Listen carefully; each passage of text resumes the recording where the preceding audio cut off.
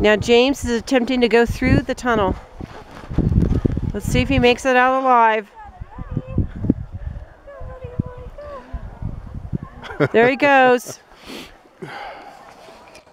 He's stuck. There he goes. Oh, oh, he didn't have his arms going. It's the great Houdini coming through. Look, I, I think I see a head.